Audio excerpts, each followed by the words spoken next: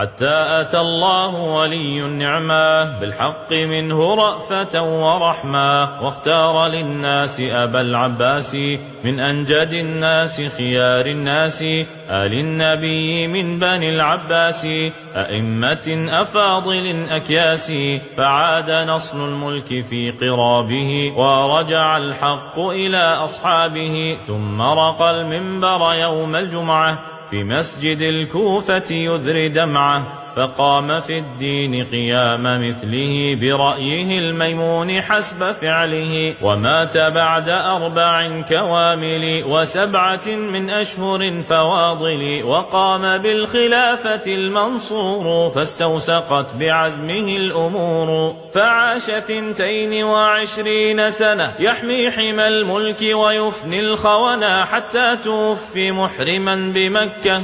فورث المهدي عنه ملكه فعاش عشر حجج وشهرا ونصف شهر ثم زار القبر واستخلف الهادي موسى بعده وكان قد ولاه قبل عهده وعاش موسى سنة وشهرين تنقص يوما واحدا أو اثنين وقام بالخلافة الرشيد الملك الممنع السعيد. فعاش عشرين ووفى عدها وعاش عامين وعاما بعدها ونصف شهر ثم وافاه الأجل. بطوس يوم السبت فانهد الجبل وبايعوا محمد الأمين ونكثوا البيعة أجمعين إلا قليلا والقليل أحمد والموت للناس جميعا موعد فأمنوه ثم قتلوه ما هكذا عاهدهم أبوه ما عاش إلا أربعا وأشهرا حتى تهادوا رأسه معفرا. وبايعوا المأمون عبد الله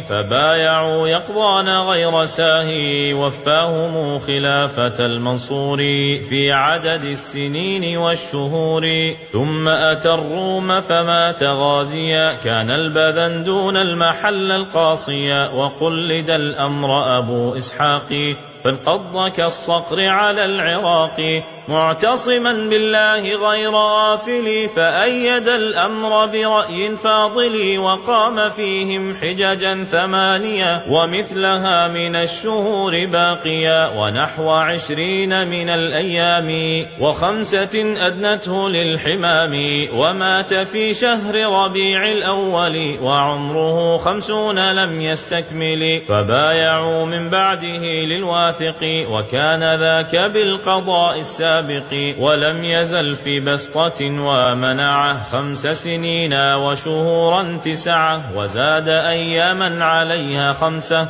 معدودة ثم توارى رمسة. وبايع الناس الإمام جعفر خليفة الله الأغر الأزهر بعد ثلاثين وميتي عام وبعد حولين سوى الأيام خلت من الهجرة في الحساب في العربي المحكم الصواب لستة بقين من ذي الحجة فأوضح السبيل والمحجة وقام في الناس لهم خليفة خلافة منيفة شريفة.